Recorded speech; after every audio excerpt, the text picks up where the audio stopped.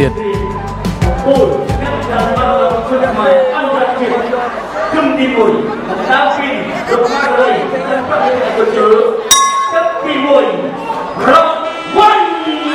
បាទទស្សនិកជនទីមត្រីទស្សនាការប្រកួតម៉ារ៉ាតុងជុំទី2ដណ្ដើមពានលោកប្រតិចាម៉ាសេរីបាទរវាងបង្គោលក្រហមបាទគុណខ្មែរគឺកីឡាករលងសវណ្ណឿននិងបង្គោលខៀវគុណថៃបាទគឺកីឡាករសុបបាច័យប្រានសងហុក បាទសងហុកភាសាថៃបាទភាសាខ្មែរគឺ26បាទកម្ពុជាកម្ពុជាបាទឈរក្បែរគ្នាគឺស្មើគ្នាល្អមែនទែនបត់ពីដល់ប្រកួតបរកផៅគ្នាបាទហើយសម្រាប់ការប្រកួតនេះបងដែរគឺនាំមកជូនលោកអ្នកដោយគោជុលបាទបង្កើតតាមពលពីវិឆ្លាជាមួយវីតាមីន B6 B12 និងតូរីនក៏ដូចជា sponsor បាទកាត់បន្ថយការត្រិចទឹកបាទហើយបំពេញសារធាតុរ៉ែដែលបាត់បង់យ៉ាងឆាប់រហ័ស ការប្រកួតវគ្គជម្រុះបាទត្រឹមតែ3ទឹកតែប៉ុណ្ណោះបាទតែការប្រកួតផ្ដាច់ព្រាត់គឺ5ទឹកពេញបាទចលោជើងក្រោមរៀងខ្លួនបាទបាទកីឡាកររូបនេះបងដែរបាទសុំបច្ច័យគឺធ្លាប់ប៉ះជាមួយនឹងឡុងសវណ្ណឿនបាទប៉ុន្តែនោះគឺឈ្នះឡុងសវណ្ណឿនបាទហើយស្ដាប់របស់សវណ្ណឿនគាត់ឆ្វេងសរបស់សុំបច្ច័យ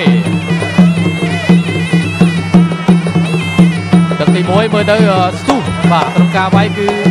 ចាប់ផ្ដើមមានហើយតែមើលទៅជាលក្ខណៈស្ងៀមសុំបច្ច័យគេគ្នានៅឡើយទេបាទមិនទាន់ឃើញថាការសម្រុកដោយប្រើកំបាច់ប្រយុទ្ធបាទខ្លាំងខ្លានោះទេហូពីគូរឿងសុភ័ណ្ឌបាទជាមួយនឹងដៃគូបាទគឺមណៅថងបាទទឹកមួយគឺបដូរគ្នាតែម្ដងបាទបីទឹកគឺបីឡើងក៏ក្រៅរិញនៃ CNC បាទតែសម្រាប់គូលងសបានលឿនបាទបើទោះបីជាធ្លាប់ប៉ះគ្នា បាទគឺនៅស្ទាបតុងគ្នាសិនបាទតន់វិញទុកជើងក្រោមសងវិញបាទពីលងសបានលឿន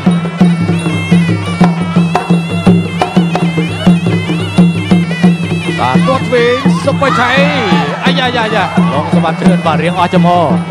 យ៉ាងណាមិនអីទេបាទអាចបន្តការប្រកួតបានទឹកទី1បាទគឺកន្លងផុតទៅ2នាទីហើយបាទនៅសល់1នាទីចុងក្រោយ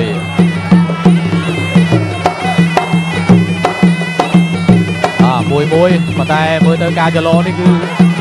បាទមិនធម្មតាទេអ្នកទាំងពីរឥឡូវនេះគ្រាគ្រាជាប់រុញចេញពីលងសវណ្ណឿន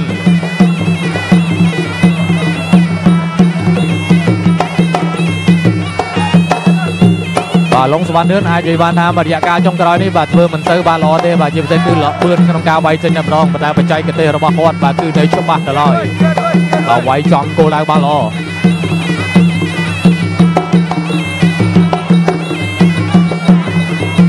បាទជន់ឆាកប្រយុទ្ធនៅក្នុងទឹកទី1បាទគឺទស្សនិកជនបានឃើញប៉ុណ្ណេះសិនបាទយើងអាចនឹងចាំពុតនៅទឹកក្រោយទៀតបាទទឹក2និងទឹក3បាទអ្នកទាំងពីរបាទអាចនឹងមានបញ្ចេញនៅក្បាច់ពិសេសរៀងរៀងខ្លួនមកទៀត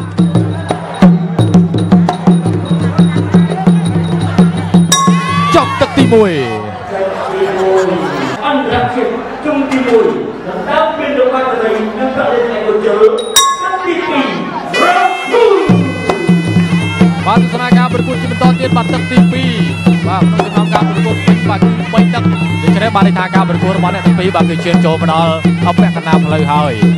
បាទជួយវាយស្ដាំរបស់លងសវណ្ណឿនបាទពីកូនសិស្សរបស់លោកឡុងសាឡវ័នបាទកីឡាករនេះគឺបានមួយចប់តែម្ដងបាទជាពិសេសគឺប្រើការប្រើនៅកណ្ដាប់ដៃបាទគុណមែនតែដៃរបស់ឡុងសវណ្ណឿនជួយវាយស្ដាំថែមជារបស់ឡុងសវណ្ណឿនកប់ស្ដាំថែមទៅលើសុបជ័យ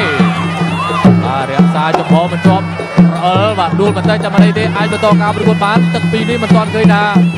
សុបជ័យបានចេញមួយស្នៀតដល់ហើយទេបាទគឺជាការវាយលុកច្រើនបាទរបស់លងសវណ្ណឿនតោះឆ្វេងលងសវណ្ណឿនបានតត់ជើងក្រោមអូបាទសងឆ្វេងមួយជើងនេះរៀងខ្លាំងដែរបាទសម្រាប់សុបជ័យតោះស្ដាំសងរបស់លងសវណ្ណឿនបាទលក្ខណៈបយោលសិនតែស្ទូចូលវាយឆ្វេងស្ដាំ បាទហើយសម្រាប់ការប្រកួតនេះបាទក៏ឃើញមានវត្តមានបាទដកពងពោះបាទពី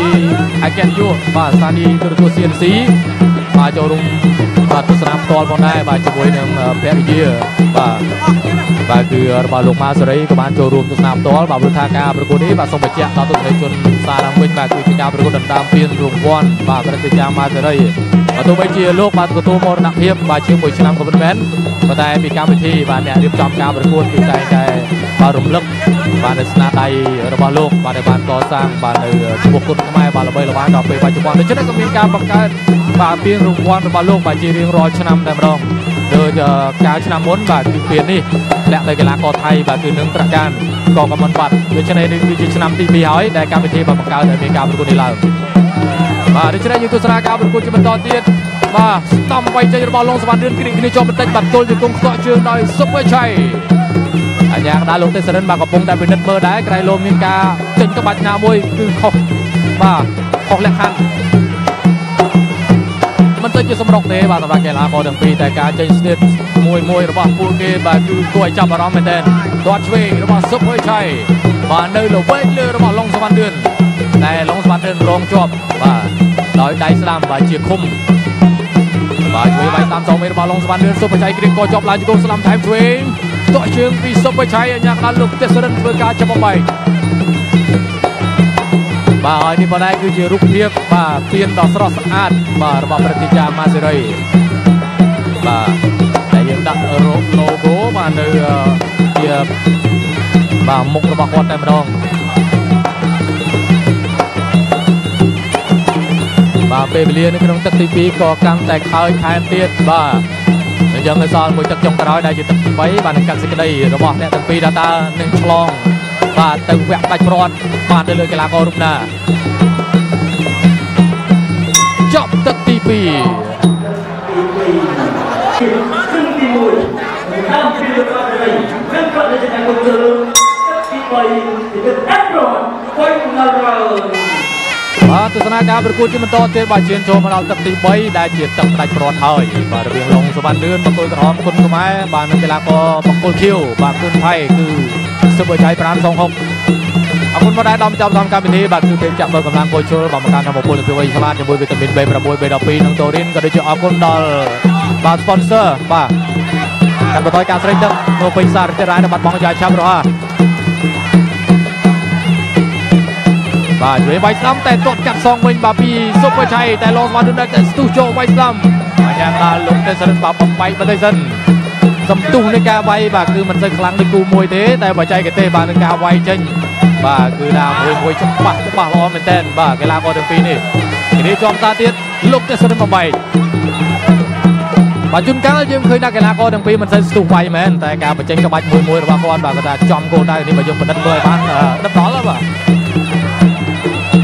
បាទវាបាយតាមដៃទៀតរបស់ឡុងសវណ្ណឿនថ្ងៃនេះគឺចូលចិត្តប្រើនៅបច្ចេកទេសក្នុងការប្រើក្តាប់ដៃបាទឡុងសវណ្ណឿនតែត្រូវស៊ុបឆៃបាទមានបច្ចេកទេសទប់ទល់ដូចគ្នាបាទធម្មតាបាទកីឡាករថៃរូបនេះបាទគឺអារម្មណ៍បានជាជើងខ្លាំងមួយដែរបាទវែងបាយតាមចប់ពេញគោលដៅល្អមែនរបស់ឡុងសវណ្ណឿនជង្គង់សងវិញពីជង្គង់ស្ទួមទួនបាទរបស់ស៊ុបឆៃ5សង6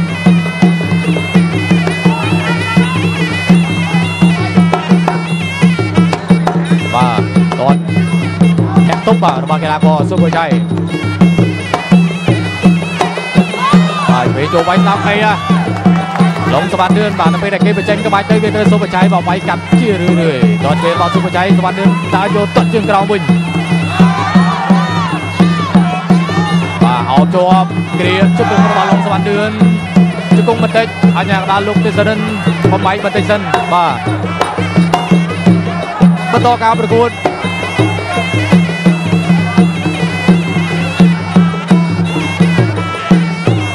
បាទទឹកទី3បើទោះបីជាជាទឹកផ្ដាច់ប្រវត្តិណាក៏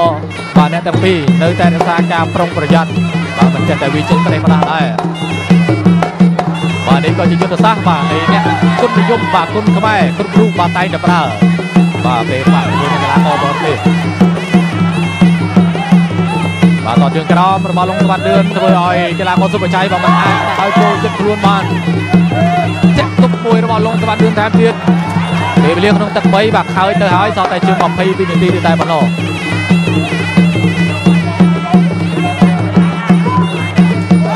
យ៉ាបាទតតពេលល្អមែនទេរបស់សុបជ័យលងសវណ្ណឿនតងឃ្លៀបន្តិចឆ្វេងវាយតាមរបស់លោកស្វានឿនទាត់ឆ្វេងរបស់ស៊ុបអឺឆៃឆ្វេងវាយតាមរបស់លោកស្វានឿនអញ្ញាកដាលបាទបំបែក បាទចប់ទឹកទី3ទៅហើយបាទដូច្នេះបន្តិចទៀតទស្សនិកជនបានដឹងពីការប្រកាសលទ្ធផលបាទពីលោកស៊ីធូណាថាន់បាទក៏សូមបញ្ជាក់បានថាគូនេះបាទគឺធ្លាប់ប៉ះគ្នា3ដងរួចមកហើយបាទគឺក្នុងនោះបាទសុពឆៃឈ្នះ2ដងហើយឡុងសវណ្ណឿនឈ្នះម្ដងបាទអញ្ចឹងនេះគឺជាការប៉ះគ្នាលើកទី4ហើយ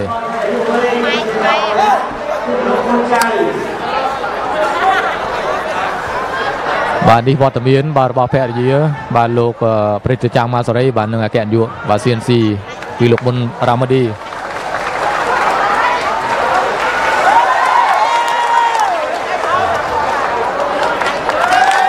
បាទទទួលបានការគ្រប់គ្រងច្រើន បាទសម្រាប់លោកអូកីឡាករឡុងសវណ្ណឿនបាទបង្គោលក្រហមបាទនៅពេលដែលប្រកួតចប់បាទហើយលោកស៊ីណូថូណាថានបាទកំពុងតែបាទពិនិត្យមើលក្រដាស់ពិន្ទុបាទ ដូច្នេះបាទយើងជួបជាមួយនឹងលោកស៊ីថូណាថានតែម្ដងបាទក្នុងការប្រកាសលទ្ធផលគូប្រកួតជុំទី2នេះបាទទស្សនិកជនជាទីមេត្រីមុននឹងខ្ញុំបាទធ្វើការប្រកាសលទ្ធផលខ្ញុំបាទក៏សូមជម្រាបជូនផងដែរថាអាយុដំមុនរ៉ាម៉ាឌីអនុរដ្ឋលេខាធិការនៃក្រសួងព័ត៌មានបាទលោកឧបត្ថម្ភដល់ក្រុមគណៈកម្មការបច្ចេកទេសនៅក្នុងរាត្រីនេះចំនួន200ដុល្លារសហរដ្ឋអាមេរិកបាទ រីឯចៅក្រមទាំង5រូបបានផ្ដល់ការឈ្នះចាញ់នៅក្នុងការប្រកួតពេញទាំង3ទឹកនេះដោយពិន្ទុអ្នកដែលឡើងទៅជួបជាមួយរឿងសុភ័ណ្ឌដើម្បីដណ្ដើមប្រាក់លានម៉ារ៉ាតុងកូជលនិងពានរង្វាន់លោកម៉ែសេរីបានទៅលើបង្គោលខៀវ Super Chai Pran Song Ho